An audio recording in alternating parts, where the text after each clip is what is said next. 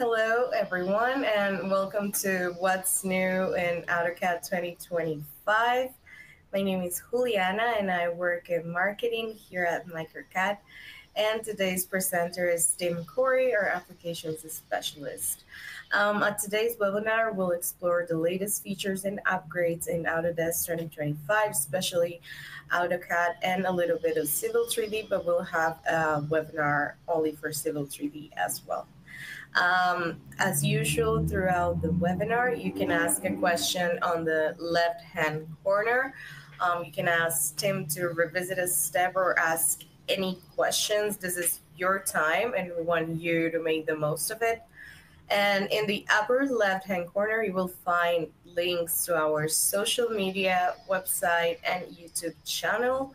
We post all of our webinars there at the end so you can share with colleagues or watch it on your own time. And without further ado, I'll pass it on to Tim. Hi, Tim. Good morning, Huli. Thank you. And everybody, good morning. Thanks for attending. I'm going to share my screen so you can see what's going on. So you can see here I have uh, Civil 3D 2025 open, and in that I can show you AutoCAD new features. Um, I'm also going to talk a little bit about what's new with Civil 3D. But like Huli said, uh, a little bit later in the summer in July, we're going to do a webinar specifically for the Civil 3D new features. I also have a little uh, PowerPoint. Okay. And I'll go through this and show you things on AutoCAD as well. so AutoCAD has been sped up quite a bit, and we'll talk uh, specifically about multitasking and multi-threading, which AutoCAD now takes direct advantage of in these, you know, multi-processor uh, PCs that we have nowadays. But I first want to show you about smart blocks because this kind of takes me back to times when I was given drawings where someone has gone through and thought they were making symbols for me. But what I have in reality is a bunch of lines. Say these come from a land surveyor and these are supposed to be survey points but they're actual actually just line objects. Well, the smart blocks B convert command, I can pick the objects to convert. It'll find all instances of the same geometry with the same line lengths and same relationship to each other and all that. As long as it all matches, it can then make a block of every one of those um, combinations of lines. Okay, and I'll tell it make a new block and I'll call it uh, point, for example. Base point, use geometry center. This is handy that way. In the case of what you're seeing on the screen there, it's going to be where those lines intersect. If there is a you know a circle with a symbol in it, it would end up being the center of the circle, etc. Okay, and I just say convert, and now I have, instead of a bunch of lines, I have a bunch of blocks. See that one, elevation zero? What I'm doing is I'm looking on the bottom of my screen down here where the drawing coordinates are listed. And I can hover and AutoCAD will snap into that grip and it shows me that's at zero. But what I want to show you is the elevations of those lines were preserved and added into the block. So you see how this one is at an elevation of three. And these are deals I just manually put the lines at those elevations so I could show you how it converts them to the same elevation.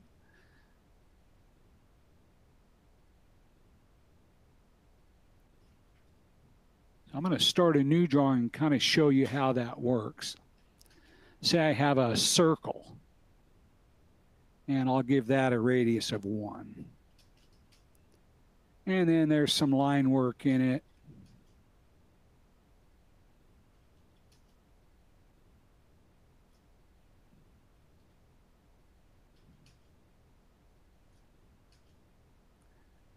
And then not thinking ahead, I copy the circle and the two lines around my drawing everywhere it needs to go. And now I have a mess. But B convert to the rescue, pick Look at that, it's going to convert all. What do I want to do? I want to make a new block and call it uh, circular.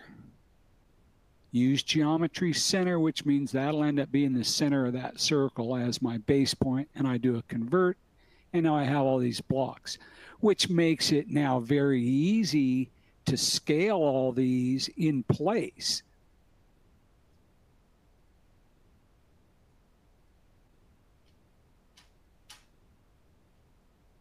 where if that was lines and circles and I applied a scale of 10, they would all scale from some base point.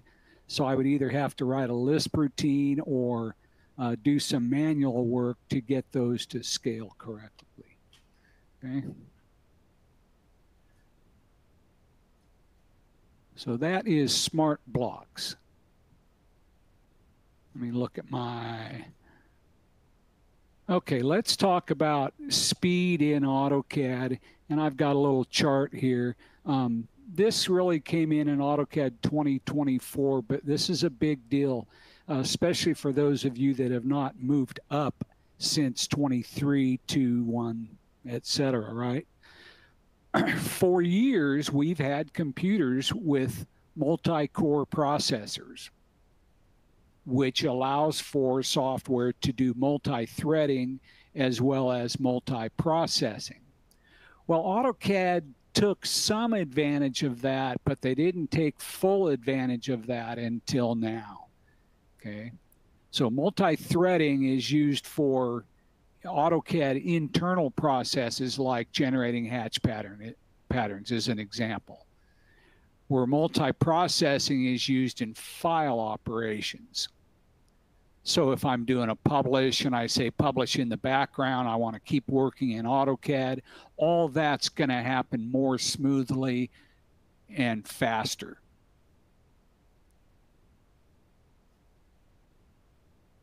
Uh, this is my uh, little thing I did on Smart Blocks. I already showed you that. Okay, here's a chart that sort of talks about uh, different parts of, you know, what is used by multi-threading and what's used by multi-processing. Okay, ASM, whatever that is, you can look through here. Um, this can be a big deal for you. Threaded XREF regen. So if you guys are using external references, um, you want them to be faster regenerated. These new versions do that they talk about whoops they talk about the, talk about this whip thread. That's old terminology whip. They still use it um, doesn't really mean much to people other than your 2d graphics are much faster. You see here multi-threading faster hatch pattern generation. So if you have very complex drawings uh, drawings where maybe you have uh, property boundaries with thousands of edges and you're trying to do a, a hatch in there, that's going to be faster. Whoop. And this thing I can scroll over. There's some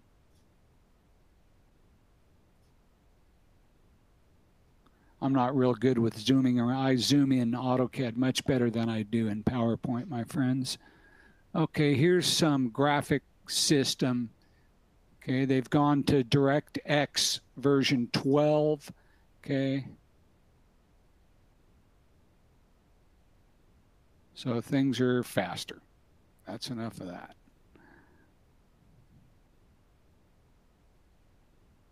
Uh, there's also now the AutoCAD Assistant.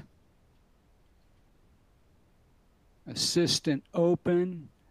This is an artificial intelligence uh, question answering system that's built into AutoCAD.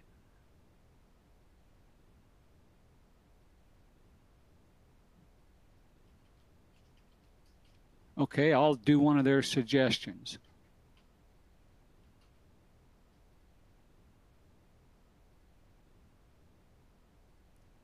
AI curated, and they come up with a bunch of different articles.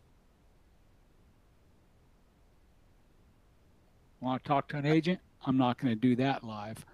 Okay, so we'll just close that. Okay.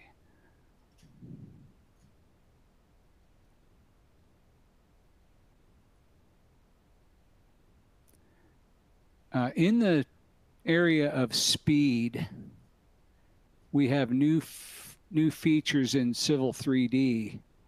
Okay. This first one, level of detail functionality. What you can do now, and hopefully you guys are familiar with the level of detail setting in Civil 3D if you're a Civil 3D user. Okay.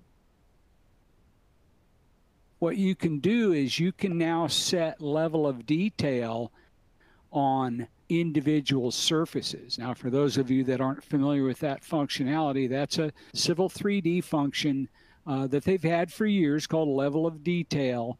But when you turned it on, it applied to every surface in the drawing. Okay, so you'd, you'd do level of detail and it would apply to the original ground and the finished ground, etc. Okay, but now I can go to a surface an individual surface like existing site and set surface level of detail. So now as I zoom out, I see fewer contours, zoom in, I see more contours. That's what level of detail does. And that's a way of speeding up the display of surfaces in Civil 3D. And you'll see that over here, it puts a little blue mark on that surface showing that level, surface level of detail is turned on for that surface. I turn that off, and then it goes back to showing every contour. You can also, if you go here to the surfaces level, you can right click and say reduced level of detail. That turns it on for every surface or high level of detail turns it off for every surface.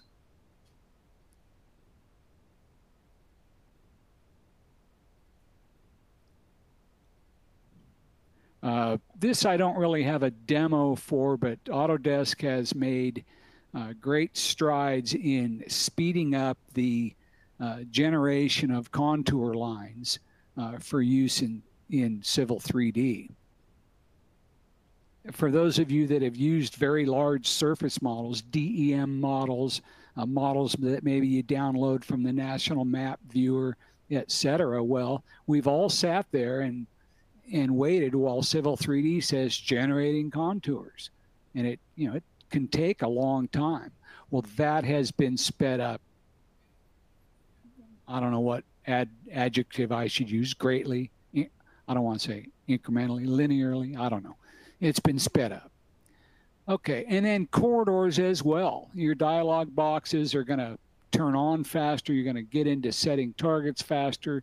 You're going to regenerate or rebuild your corridors faster, etc. Okay. And your corridor surfaces will now build quite a bit faster. And you use this AEC fast corridor surface build system variable, turn that on, and then it'll apply uh, sped up corridor surface creation. This one I can show you, Esri Maps. Uh, most of you are familiar with AutoCAD having uh, mapping backgrounds available, right? From Bing Maps, that's the Microsoft uh, online mapping, and they look okay, they're cool. But now we have an additional choice. It hasn't been replaced, it's been added to where now you can use Esri Maps. So I'm going to try Esri OpenStreetMap. And there it lays that as a background to my image. Or to my drawing, excuse me. That is the image. Here's an actual aerial photo. And if you wanted to compare that with Bing, you could go to Bing Aerial and decide which you like and then use that, right? Here's a street map.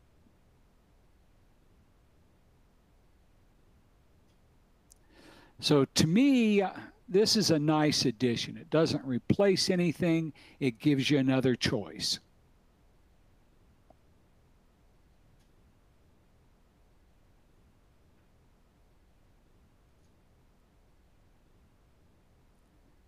These are the commands here that control that level of detail setting. Okay.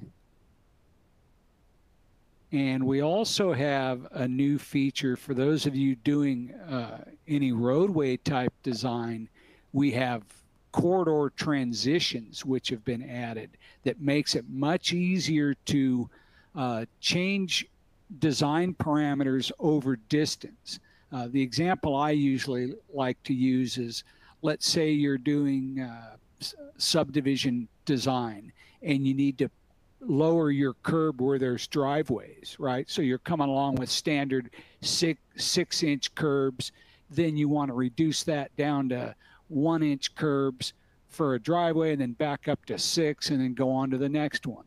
Well, the corridor transitions let you set that up as like a a transition set, and then you can apply that anywhere along an alignment, whatever stationing that you want, and it'll adjust uh, your curb heights automatically. Then, okay, you could you could do it with uh, your slopes, your catch slopes. Maybe you have to, uh, I don't know, go steeper to get around a tree that you don't want to have removed you could use the corridor transitions would make that very easy and quick to do. Okay. And you can uh, connect directly to your subassembly files now. Used to be you had to import your PKT, your custom subassemblies. You had to import those onto a tool palette. Well, now you can link directly to it and in your prospector under subassemblies, those connected subassemblies will be listed. So then if you go out and make a change in the subassembly composer and save it, you get told in the drawing, hey, that's been changed. Do you want to update? Yes, I do. And you get those changes.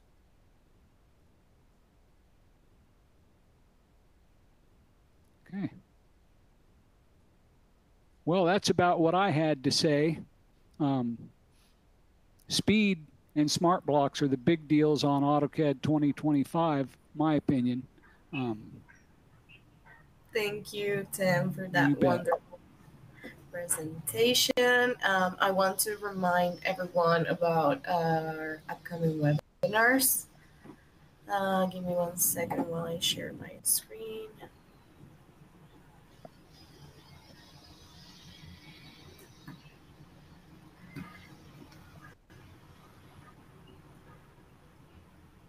Okay, so we have tomorrow actually at 1 p.m. Eastern Time, Sync, Share, Succeed, Navigating Bluebeam Studio. Um, then on June 19th, we have the end of this Bluebeam series, um, Bluebeam's Power Cloud Control. And we'll have on June 20 also with Tim digital, drops, sustainable water solutions with InfoDrainage. And then on June 26, we'll have what's new in Inventor 2025. Um, so yeah, just want to also remind you all that if you want to learn any of these topics in detail, you can take a custom training with Tim or someone else on our team. And we also offer group classes online. Um, I believe you have in the in the right hand the webinar registrations. You can go there, register, and even if you're not sure if you can make it, um, we recommend you do register so you can get the on-demand recording.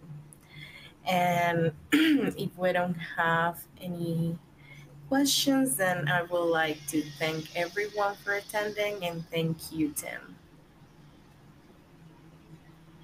My pleasure. Goodbye. Thanks, Huli. Thank you, everyone. Thank you.